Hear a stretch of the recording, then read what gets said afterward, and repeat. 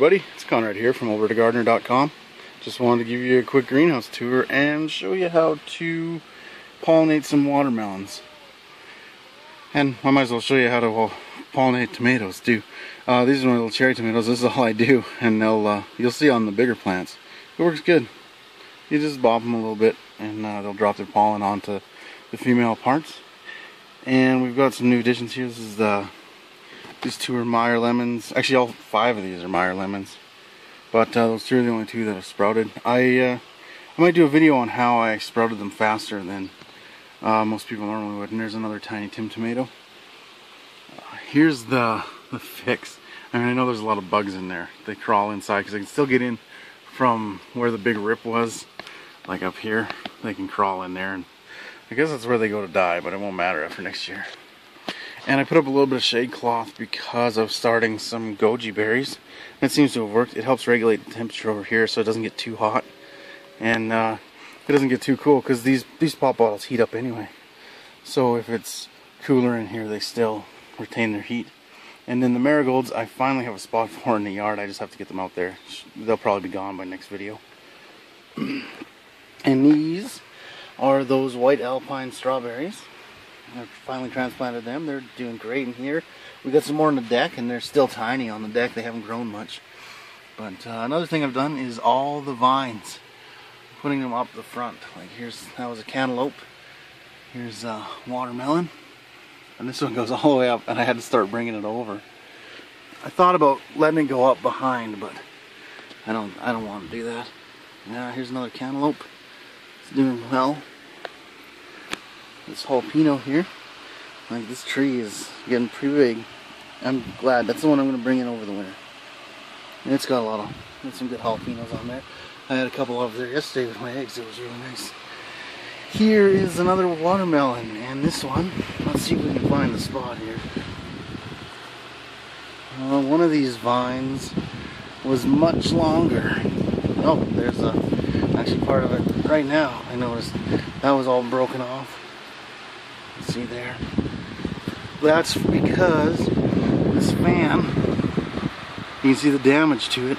It, this thing wasn't very, this barrel it's sitting on wasn't very uh, level. And so I turned the fan off one day and it tumbled onto this watermelon, which had a vine all the way out, up and up over here.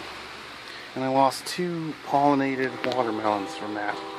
And that kind of made me mad. But I'm going to stop for a minute because there's a train coming you won't be able to hear.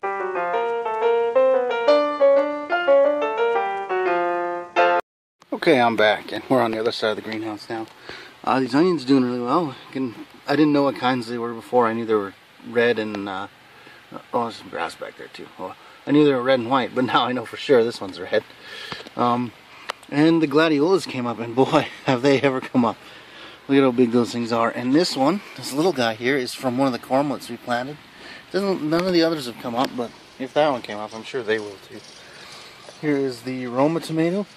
And again, I've just been tapping the Oh, you can't see that. There we go. Just been tapping the uh, flowers and we got some fruit set on this one.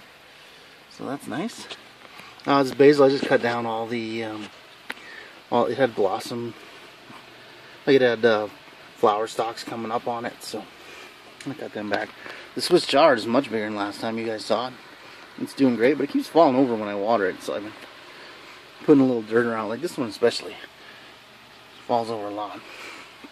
The cucumbers, I thinned them to the two strongest, and uh, they will get bigger if we get some warmer weather here. It's been, like I haven't had to open the door except for a little bit yesterday and today over the last week because it's been raining the whole time. I mean, welcome to June in Alberta, I guess.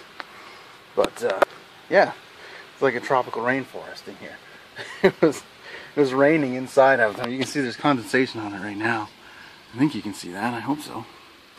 And that's just it was like that all the whole week in here because it was a little warmer in here than it was outside.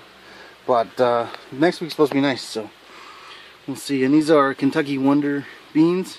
They're doing great. It's finally starting to climb the poles. Uh, this jalapeno here is just loaded. And that's all I do to pollinate is just tap the flowers again. Really easy. And this chili pepper, holy smokes. Look at look at how many of these are on here. It's just this is uh, chili grande. And yeah, it's doing incredibly well. I think I have a watermelon pollinated on here. Where is it? There. Right there. So I'm hoping it's going to get bigger. This one has a few that aren't dropping, but they're also not getting any bigger. So I don't know. And here is the Better Boy tomato. It has a bunch of big tomatoes on it. And uh, I'm growing one in a bag too, just to see. And it is taller. It's got the same amount of tomatoes on it though. So production wise it's about the same. Uh, plant strength wise, I think the one in the bag is actually probably a stronger plant. But just huge, thick stems on it. It's doing awesome. The habanero finally started to grow. Look at it. Last time it was, I bet it was half that size actually. So I'm excited for that. There's little, little blossoms coming on it. So soon I'll have peppers. And the cantaloupe back there, I just pollinated. Uh, you'll be able to see that one. But this one's getting some too. This one isn't open yet. But uh, there's a fruit and there's a female blossom there. There's another one down here that I pollinated earlier. That's why there's a flower stuck in it.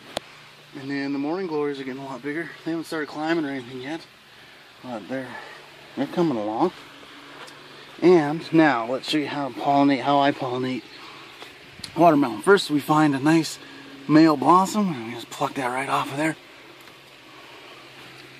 And as you can see, it's just got male parts there and there's no fruiting thing on it. Get that in focus for you. And then take it over to. This one might actually be hard to see. Let me just see there's a little watermelon on the bottom of there. And these are the same type, so I don't mind doing this. And you just rub them together. And get your finger out of the frame because that's very amateurish. and so uh, that should do. I pop it in there just a little more, just to make sure. And I always just leave it over it in case any more falls off. And that's all there is to it. I hope that's helped you. Maybe you can pollinate in your greenhouse because I don't get. I usually try to keep the door closed as long as I can. So, I mean, today it's open. Though I'm about to close it again because it's uh, getting cloudy again.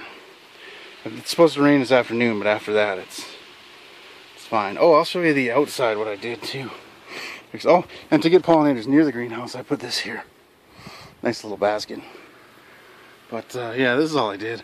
Just tape here, tape up here, and it goes all the way to the bottom, and it comes up. Well, this one doesn't leak at all. The one in the middle has. It was the hardest one to do.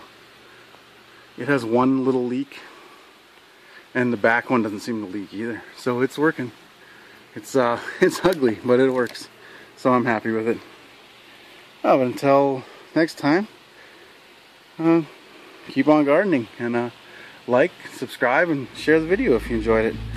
And oh, comment as well. I enjoy hearing from you guys. So thanks. Have a great day